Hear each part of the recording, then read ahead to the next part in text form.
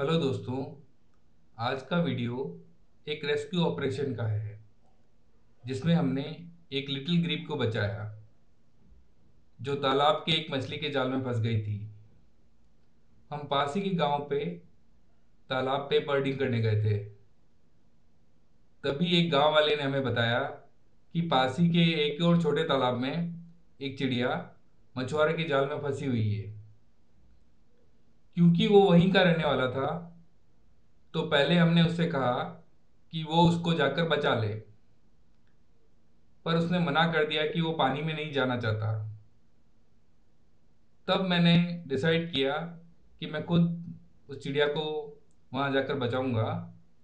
तो मैंने अपने कपड़े उतारे और मैं पानी में चला गया। पर मुझे डर भी लग रहा था कि कहीं तालाब में कोई कुआ ना हो और मैं उसमें फिसल के गिर ना जाऊँ। पर मैंने ध्यान से, आराम से एक एक कदम बढ़ा के उस जाल के पास गया और धीरे धीरे उस चिड़िया को उस जाल से आज़ाद किया।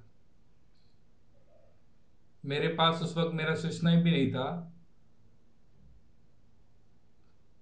तो मैंने अपने हाथों से जैसे तैसे करके उस जाल से जाल से उस चिड़िया को छुड़ाया। जैसा कि आप देख रहे हैं कि ये चिड़िया है, वो चिड़िया जिसे हमने बचाया और फिर हमने उसे आज़ाद कर दिया।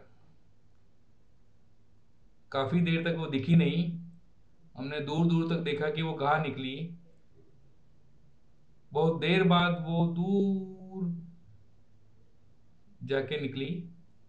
तब हम बहुत खुश हुए कि भाई हमने एक, आज एक चिड़िया को बचाया है।